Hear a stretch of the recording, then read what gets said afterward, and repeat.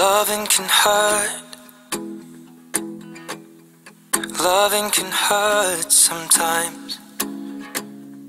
But it's the only thing that I know. When it gets hard, you know it can get hard sometimes. It is the only thing that makes us feel alive. We keep this love in a photograph.